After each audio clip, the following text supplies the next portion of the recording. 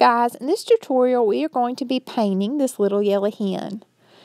It is one of our Paint by Line products and the first step I am doing is painting the hen the color called Daisy. All of the paint I'll be using today is Dixie Belle paint which can be purchased on our website. The orange I used on the beak was Florida Orange and the red I'm using on her comb is Honky Tonk Red. Now I am going to take a detailed paintbrush with some slightly watered down black paint and I'm going to fill in all of the etched lines on the hen. So first I painted everything on the hen and it covered up all those lines and that's fine because you can kind of see that they're still showing through and I'm just simply going back and filling all of them in.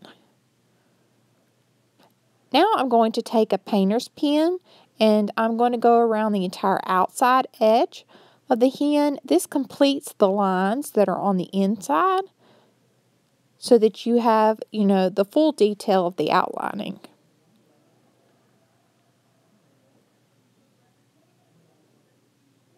And I forgot to paint her feet earlier, so I'm going back and painting them brown. Now we're going to go beyond the lines. This is where I like to add accents and a little more detail that are not etched into the product for me. So right now I'm using a color called Mermaid Tail and I'm adding that to her tail and her wings. So she's not just plain yellow, we're bringing in a little color with some of the accenting. This hen can be purchased on our website at buildacross.com in our shape section in the category Paint by Line. Now I'm using Honky Tonk Red and I'm going back over the spots that I did the turquoise, but I'm not covering the turquoise up completely. I'm still letting it show through some. And then I'm going to last add green and the color green is called Tree Frog Green.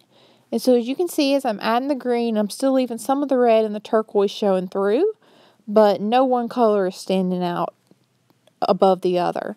Now I'm going to take the green and I'm going to go around the hen and do some more accenting with the green color.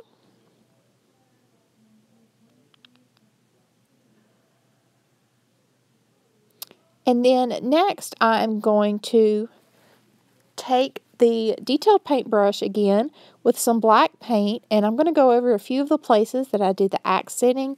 This just kind of helps blend in all of the colors to the entire product and kind of the look you're wanting to get.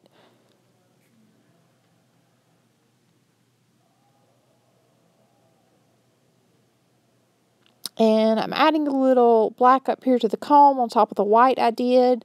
Kind of hard to see because it's out of the camera's eyesight. And then on the feet, I'm just going to add a little white accent to give them a little more detail.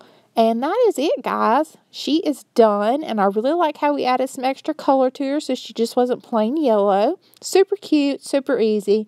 Thanks for watching, guys. If you enjoyed, please like and share. See you next time.